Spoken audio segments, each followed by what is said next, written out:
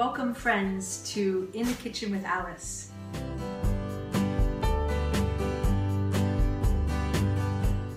This is a beautiful day in Florida and I would like to share with you the things that people have been bringing to me recently. People in my ongoing 12-week workshop have been sharing that they have cravings for sweetness and cravings for something oily and fatty and delicious and cravings for something salty, something that has a little bit of a bite, something that's spicy. So these are the things I want to address today. Today I want to show you how in just a few moments, you go to the store, you go to the farm, you go to the farmer's market, the wholesaler in your area, and you pick up some very simple ingredients and you make sure they're stocked in your refrigerator. And when it comes time for you to make something that's very, very simple and that will hit the spot just right for you. This is really the subject matter of today's presentation. So I want to begin with something very, very colorful. This is a banana strawberry date smoothie. And when you put these beautiful things that are full of carbohydrates, full of color, full of the live enzymes of the fresh fruit, into a blender with a little bit of water. In just a few moments, you have something so creamy and delicious, you won't believe it. So here we have our delicious strawberries, our bananas, and here down below we have our dates. Let's pick this up here, show you. These are dates. Now in the beautiful medjool date, we have the most extraordinary taste, flavor, and consistency. This date has so many purposes in raw food preparations, maybe some cooked dishes. This date can be opened up with a knife very, very simply, and you want to remove its simple date seed. Mm -hmm. And then you can throw it in your blender. So let's go ahead and prepare this drink. I have already put in the bananas, and strawberries, and now we've just added the date. So we peel the date apart, and we pry out the seed, and then we put the date into the blender. Mm -hmm. There we go. We open the date again. Dates are delicious. A good test for what dates are really like on the taste buds is to slice off a piece like this for one of your friends have them close their eyes and have them taste it. And you can say, does it taste somewhat chocolatey? And they'll, they'll wonder because it has such delicious desserty taste. It gives a lot of sweetness and it has a lot of carbohydrate, a lot of uh, calories in the date. And when you're eating fresh food, you don't want to diminish your calories. You want to expand them. You want to have a thousand calorie meal would be wonderful. And your dates are adding those things to your food, giving you a wonderful uh, amount of strength and energy for your day. So now I'm going to add in some lovely water to make the drink for us. Put it in the blender, put on the top.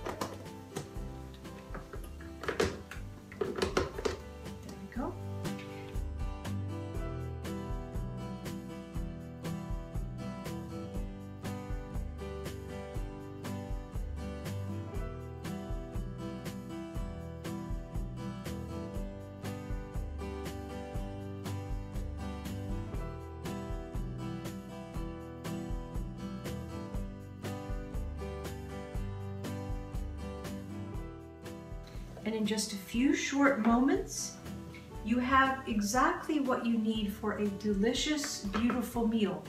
This could be a breakfast, this could be a late afternoon um, dish for you, or this could be an evening special.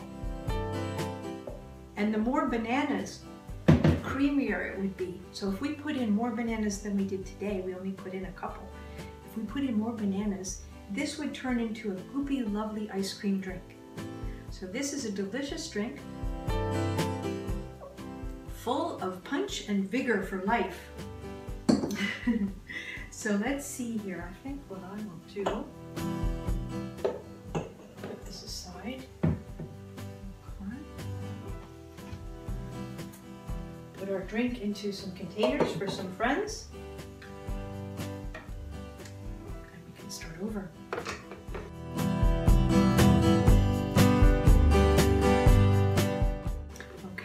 Another drink to show you. And that begins with the orange.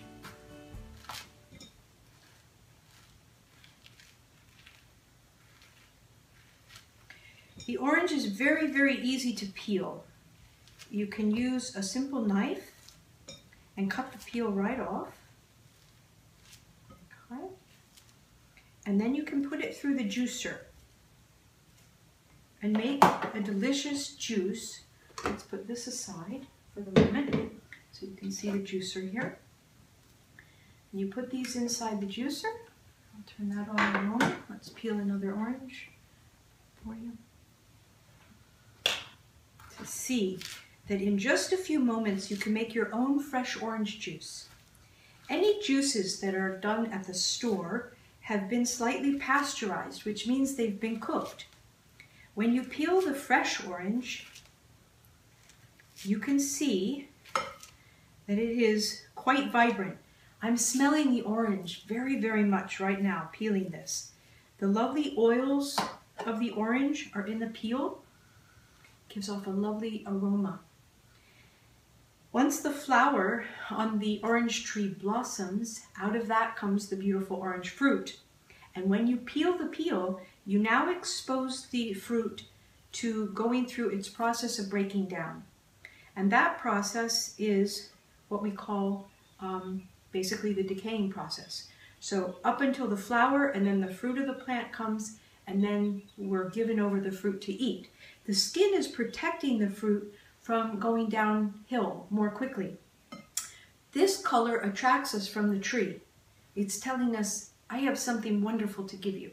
When you peel this from, from the orange, you're now ready to open it up and with your chewing to start to break down and take in the enzymes and the wonderful sugars that are there to heal all of our conditions to do with blood sugar. These sugars are made for us from the sun. So let us make our beautiful drink. I go back here to the freezer.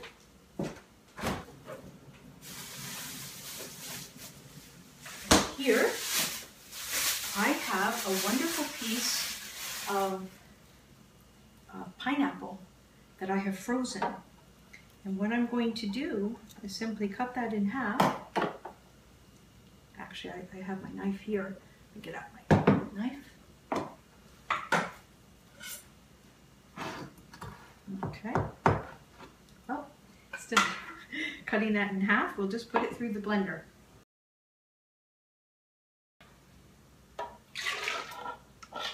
Fresh orange juice. And now, as one of my subscribers to this uh, broadcast has asked about, we are going to add some of the pulp right back in. And you ask yourself, well, why did you put it through a juicer in the first place? The juice is coming out fresh from the juicer. And then after that, we have the pulp, but in its broken down form because the juicer has put it through a process. So with that process, we've thickened our smoothie, but we've got it down into a manageable size. The juicer is much better at that than the blender. So we make up our drink here.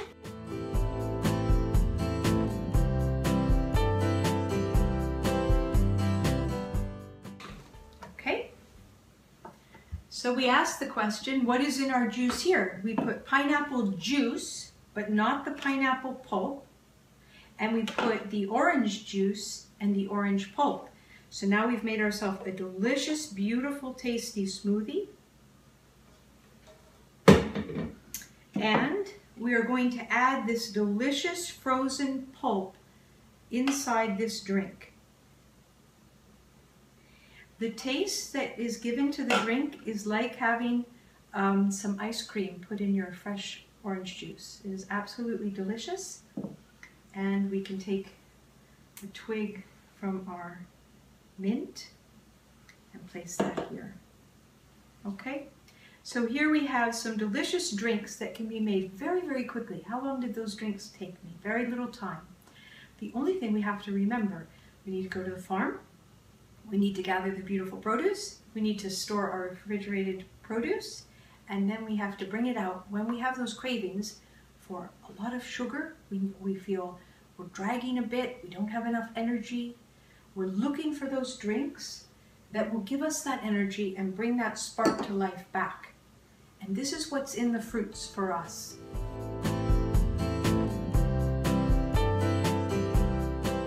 Okay. Another thing one can do is simply open a beautiful, in this case, this is a, a, watermelon from an organic farm. You can see the beautiful red. This watermelon is a wonderful way to uh, end an evening or begin a day. You can put it in your bowl and take out your spoon and just begin.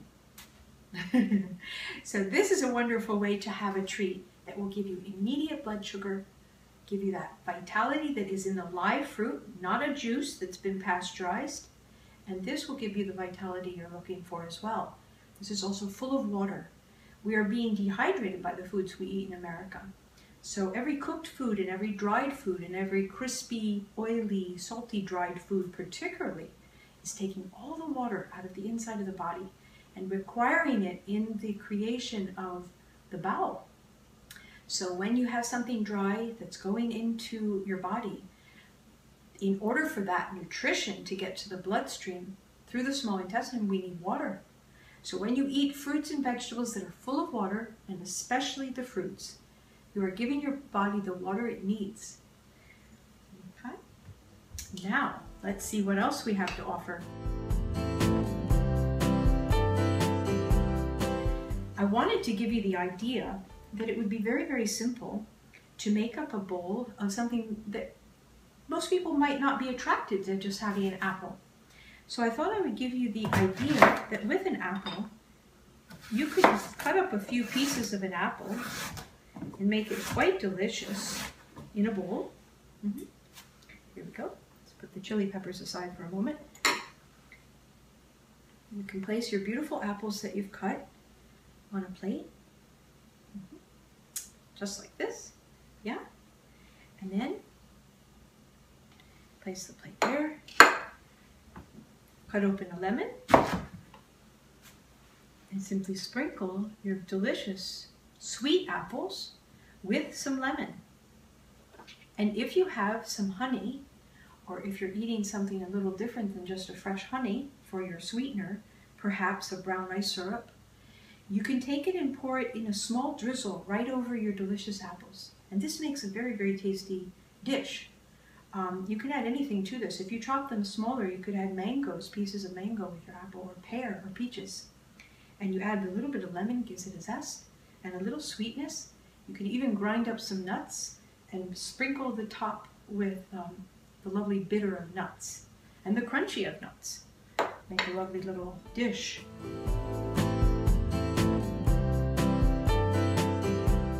For those of you who are craving the fat, the warmth, the wonderful quality of fat in the human body, I wanted to say that it is very, very simple to simply stab the inside uh, portion of the avocado and get the seed out.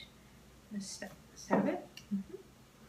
And then you can use your spoon and simply dip in. Sometimes just a little bit of that fat and the nutritiousness that's in the avocado is all that you're really looking for. You can always put a little something with the avocado if you like. Some pumpkin seeds are delicious. You can put the avocado into a bowl with some mangoes, make it more of a sweet dish. But avocado gives us this lovely quality of fat that we are all very much craving. So we go buy potato chips or we go buy something that's heavy in fat. And the truth is the plant-based fats are going to transform your whole insides and really give you the support and the sustainability that fat is in our diet. Fat is helpful to our brains and our bloodstream and everything that works in the body. I wanted to show you that a very simple, um, tasty snack could be a snack or a meal, however you wish to make it. It's very, very simple. All you have to do is cut into your avocado and poke the seed out and the seed can be planted. And then just dip in and have your avocado. And you could add seeds to it, put it in a bowl and toss it with a few other ingredients. Okay.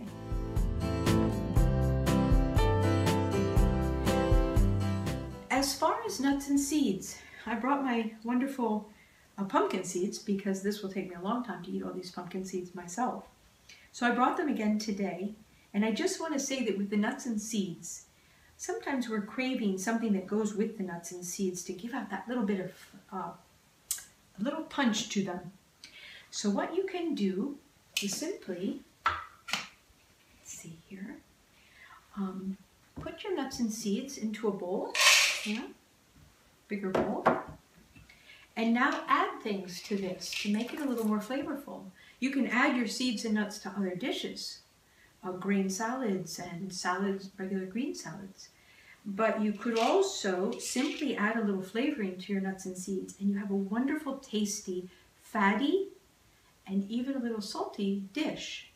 For those who are not using salt in other forms and only from plant foods, I will be doing a whole presentation on dressings and sauces and sprays for seeds and nuts for tasty trail mix uh, that are based on the salt that comes simply from the plant foods uh, directly.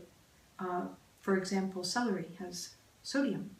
So I will be making some wonderful dressings where you don't add any oil and you don't add anything that has saltiness to it from um, a process. So let me just reach over here to show you um, a few items. Here I've poured a little olive, fresh olive oil, cold pressed fresh organic olive oil. Here I have a little uh, what's called tamari or shoyu, and this is a wheat-free soy sauce based on soybeans. And what I want to show you about these things, if you are still having fats and salts in your diet, you haven't done a different kind of diet, some people are, have no additions that they add to the fresh fruit and vegetables. But if you still are, I'd like to show you that there's one more um, in my kitchen, I didn't have a spray bottle to show you with except this one. This is liquid amino acids by Bragg's. Wonderfully salty. Also made from soybeans, and it's fermented, as is the soy sauce. When you use a spray bottle to add this to your nuts and seeds, you spray it on like so by spraying it in a mist. Does it give it enough flavor? It gives it lots of flavor. It's full of flavor. You can do the same thing by having another kind of spray bottle aside, and you can add your oil to it. And then it's a matter of just adding enough oil to simply give a slight mist to the nuts or seeds. Or anything else that you're using oil for. The truth is, it takes the liver an hour to process one drop of oil. This oil is squeezed from many, many olives. So for our purposes, oil is the thing that pulls out the flavor in foods. So if you put oil as a spray on a salad or nuts and seeds, in the spray it is diffused. You can even add a little water to your oil. Shake it real well so it diffuses. Um, you can even dilute any of the sauces that you might find at the store. Give a quick spray and you could even toast this. Some people toast their nuts and seeds. For those who are eating them raw, you could even put them on a dehydrating sheet and make them a little crispy. Or you could even put them in a dry pan before you do any spraying and let them warm up and get toasty. Not cooked, but just a slight warmth to them. And then add either your salt or your oil, whichever one you prefer or both, to make this very flavorful. I brought these wonderful chili peppers to show you that if you take your chili pepper and you were to slice it into pieces, it's very hot, um, beautiful, aren't they? If you were to slice these and put them on a dehydrating sheet, for example, you could you could dry these out. You can also um, bake them. And when you put them through a grinder, you can make a chili pepper salt, um, salt or uh, they're all ground up as a powder. And when you have that powder, then you can add it to nuts and seeds. And even the wonderful jicama, J-I-M-A-C-A plant that people in other parts of the world are familiar with. You can slice up your jicama and also do the same thing with a spray of light oil and some chili pepper or paprika. You can sprinkle any of it with that. So now you have something tasty at night that's crunchy, has a little bit of fat in it. Now the fat of the nuts and seeds is really plenty, but some people like to add a little bit. So I thought I'd go into the diffusing of your oils and your salts. We are so full of sodium and extra fat in this culture that it is really not necessary to keep adding that to the metabolism in the, in the body. The body is already processing years of uh, utilizing those things from an American diet. So I am glad you came out today. I hope you've learned some of the wonderful ways that one can prepare a simple dish very simply that uh, satisfies your taste buds and your sweet tooth and your salt and fat tooth, the craving for those things. So thank you so much for coming out. I look forward to seeing you next week. And I just want to say that we have an ongoing workshop where I will be going into many of these things and I'm writing an ebook that describes each one of these kinds of uh, presentations in the ebook so one can move oneself along in the healing process by adding fresh fruits and vegetables to your diet. Have a wonderful day and thank you so much for coming out.